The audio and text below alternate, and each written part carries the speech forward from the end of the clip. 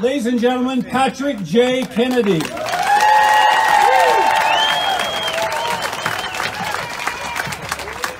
I think you got Luke as a potential candidate for office. Isn't he good? He, he, he did it just the way I told him to just a minute ago. First of all, let me thank everyone over here for the standing ovation you just gave me when you what strong people you are to stand throughout this whole rally and, and you're all coming out today for perhaps one of the most important causes of our time. Luke quoted my late uncle, President Kennedy, at the beginning of this rally. And one of the most amazing things that John F. Kennedy did as president was to speak out on the moral issue of his time, and that was civil rights. He was the first American president ever to go on national television to talk about civil rights as a moral cause. And in his speech on national television, he was the one who inserted the line, who amongst us would be willing to trade the color of their skin and be content with those who counsel patience and delay? You see, most of his advisors and most politicians back then said, we shouldn't rush civil rights. It's going to be too disruptive. We should take more time in guaranteeing equal rights for all Americans, irrespective of the color of their skin. And President Kennedy saw it as a basic moral issue. That age-old adage to treat others as you yourself would want to be treated.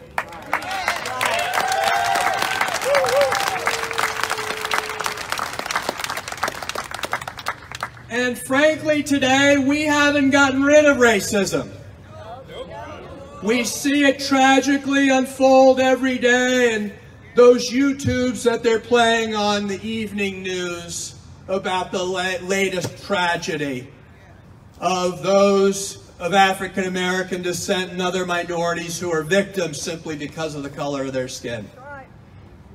And yet, because of the civil rights law that John F. Kennedy proposed that was passed in 1964 in memorial to him by Lyndon Baines Johnson. And because of the Voting Rights Act after it, and the Fair Housing Act, and the Fair Employment Act, and all those important pieces of legislation that were meant to begin to guarantee equal rights, irrespective of whether someone wants to act in a racist way. The law says that it's against the law to act in that way because it's a violation of civil rights and it's a violation of their human rights.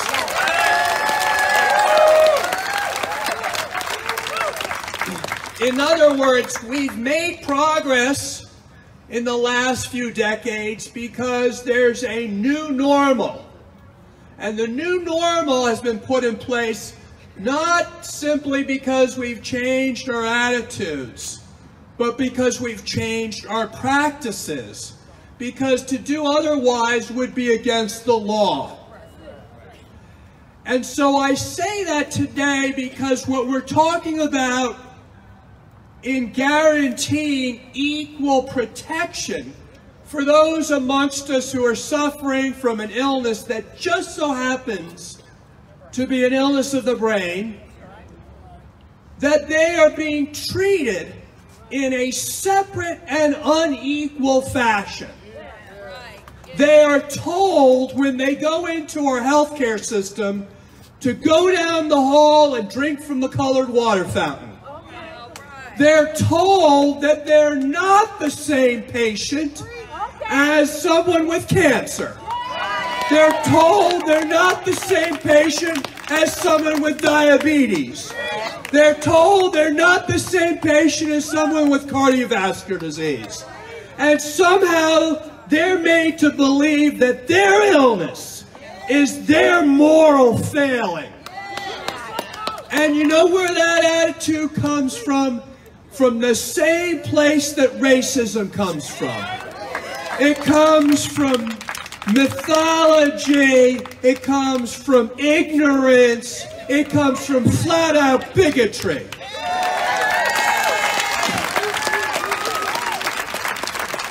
And we know it well enough. You know, maybe a couple of generations back they didn't, even though their common sense told them otherwise. But today we know about the brain. We've researched the brain. We understand the biological nature of these illnesses.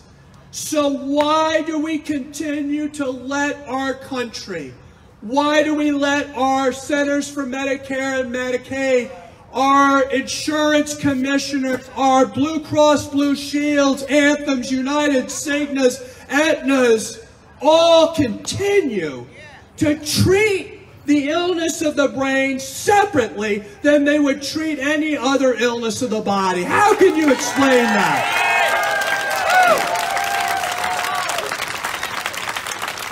So I am here today to tell all of you the rally that you have started here, and this is a rally that's going to continue in different fashions, as Luke said, over the coming weeks and months is a bigger rally than just a few instances of tragedy when it comes to the cuts in this program or that program.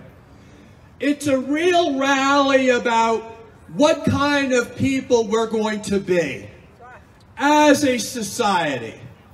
Because these illnesses affect every single family in the state of Arkansas and every single family across America.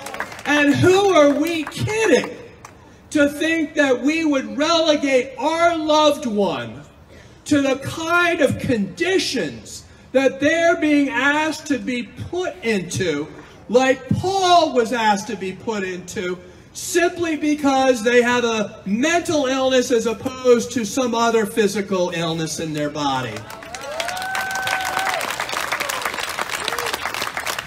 So,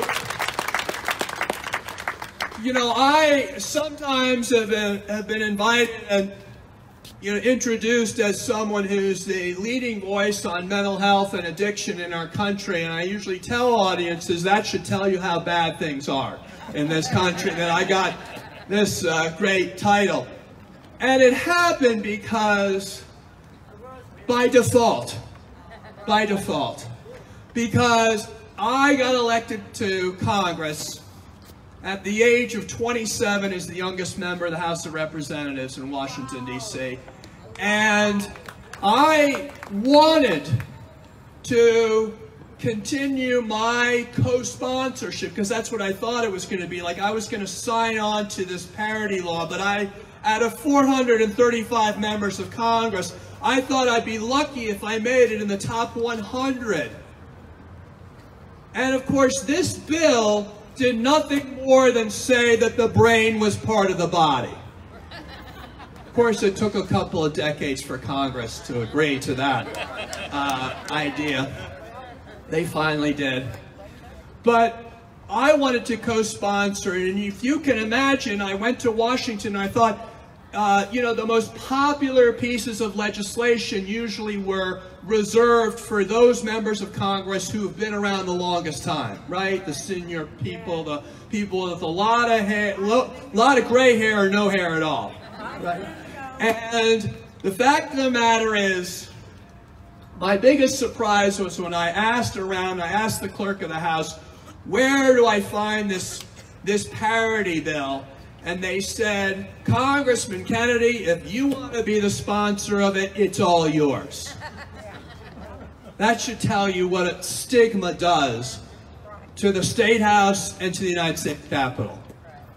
It makes people silent. And I said to myself, I can't believe, as the youngest member of Congress from the smallest state in the country, and in the minority party, the lowest guy on the totem pole, that I would have the honor of putting my name first on a bill that guarantees equal coverage for mental illness and addiction. But that just shows you that no one else wanted to stand in front of the cameras and say they were sponsor of a bill and of course had the words in the bill mental illness and addiction.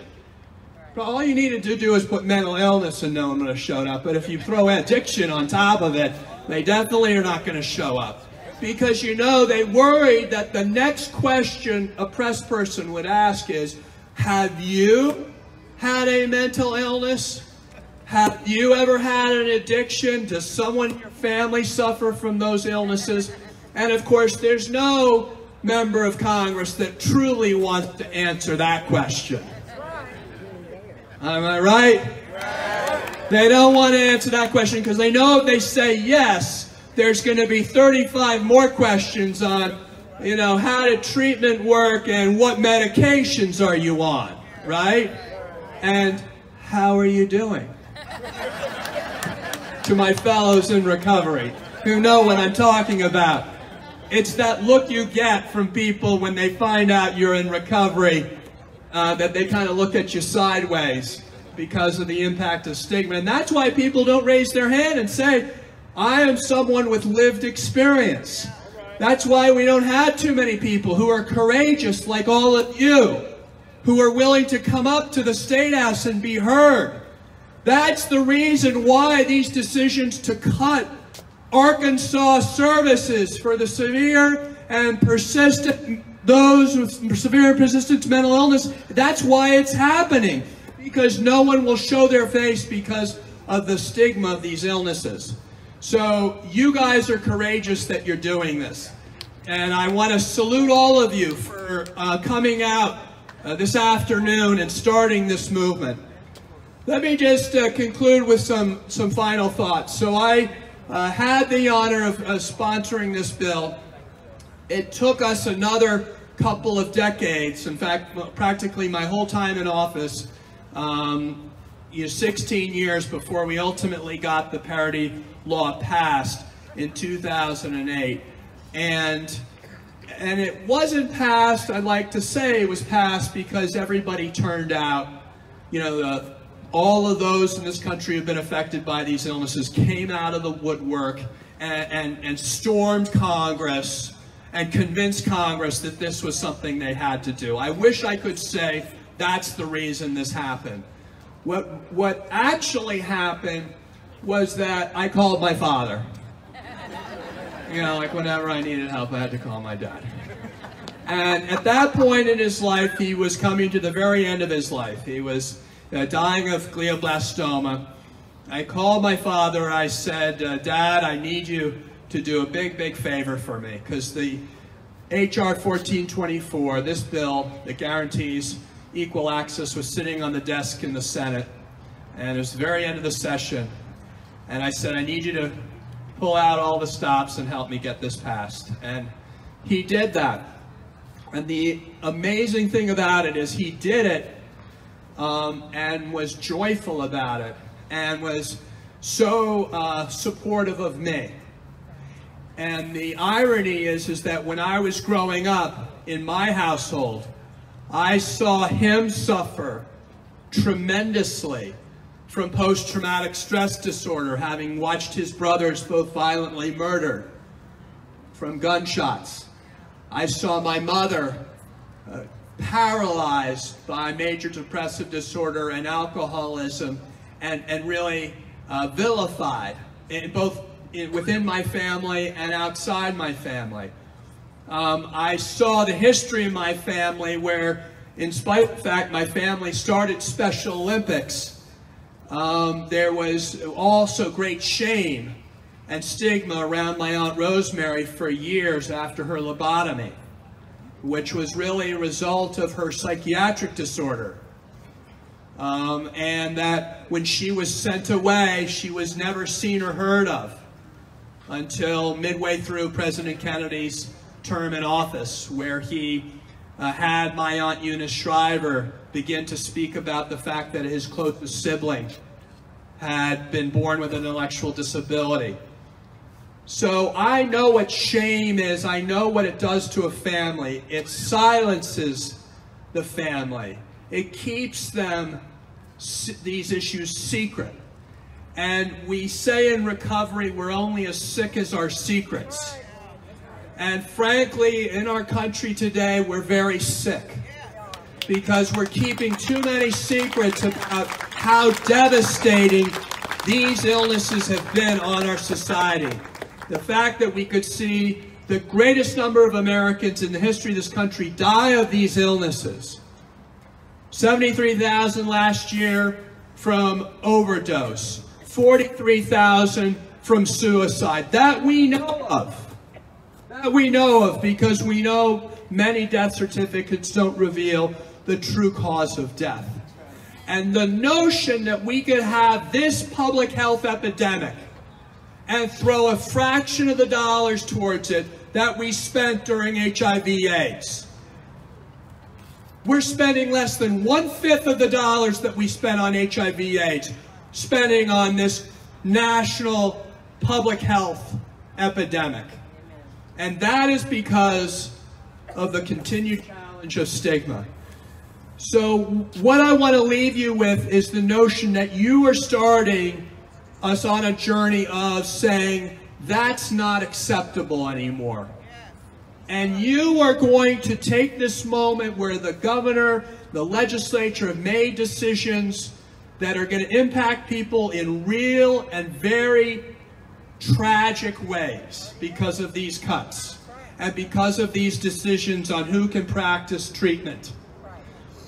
These are going to have very personal um, tragedies tied with them. But I will, it has galvanized all of you, and the fight that you're taking on is not only for those and saving those from this horror, but it's for changing America's attitude, changing your fellows in Arkansas's attitude towards these illnesses so the, the next generation does not have to live in silence and stigma and in shame because they have a mental illness in their family too.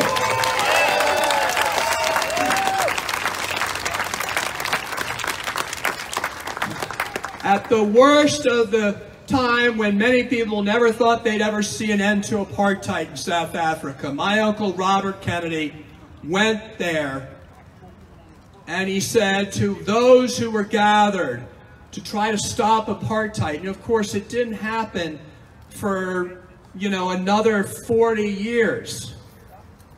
But, and it was unthinkable that it would even happen at all.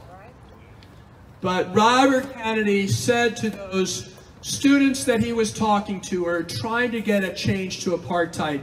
He said, each time a person stands up or acts to improve the lot of others, they send forth a tiny ripple of hope. And coming from a million centers of energy and daring, those ripples can create a current that can knock down the mightiest walls of oppression and resistance. And what he was saying is that it's not going to be one person who changes this. It's going to be each of us just doing our part because I can't worry about the people who just don't get it, who are ignorant, who choose to remain ignorant. I can't I can't change those people whose hearts are full of hate instead of love, those people who's, who have been closed off. I just can only be responsible myself, each of us, ourselves, to only do what we can do.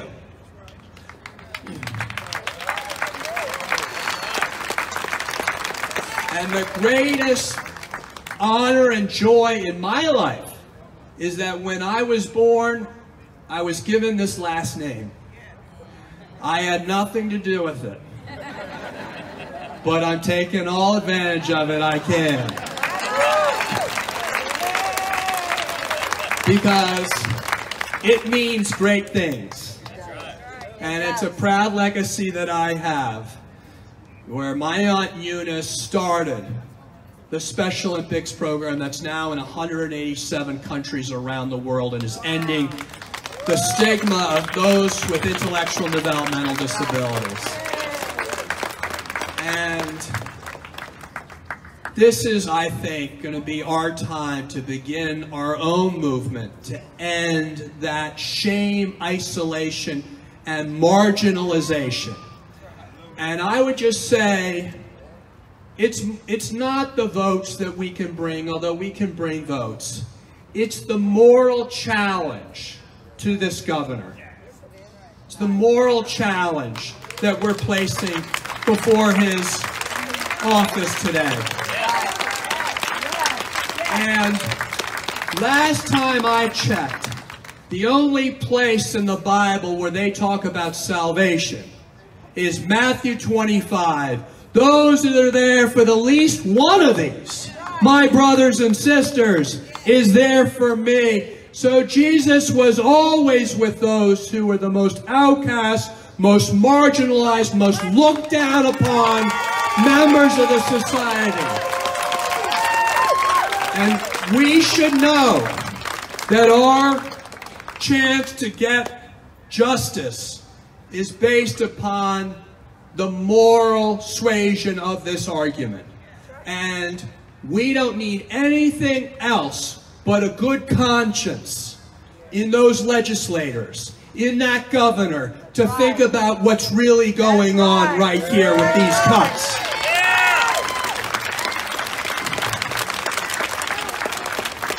So, I just want to say uh, thank you once again for giving me the honor of being here today.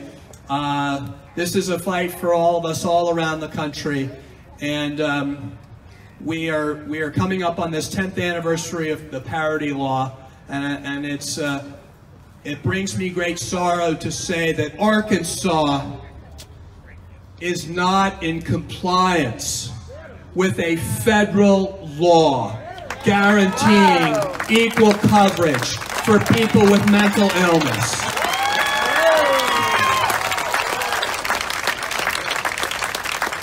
And I would put a challenge out to your Attorney General to say that part of her responsibility as Attorney General is to protect the life and well-being of her citizens here in the state of Arkansas. And I would say there's a crime that's in the process of being taking place here. And she better investigate that crime. And that crime is the people in this state's lives are being put in jeopardy because of the decisions of a few who want to shut down the access to treatment for those who are simply trying to survive every day with a serious and persistent mental illness.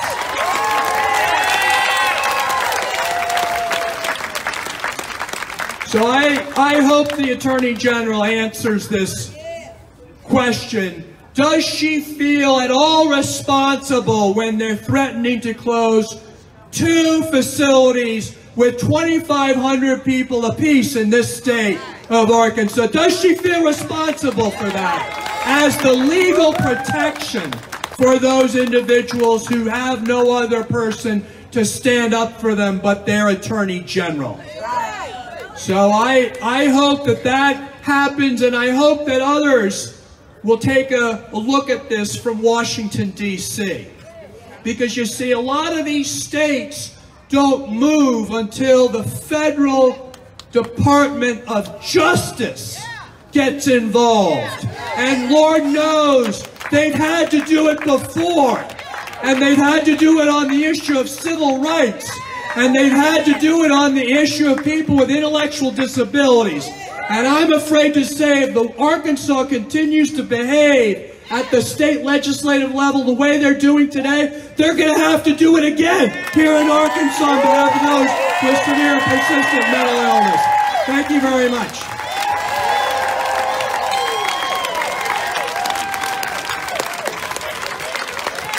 Patrick Kennedy, everyone. Patrick Kennedy. Amazing. Amazing. We've got a lot of work to do, folks.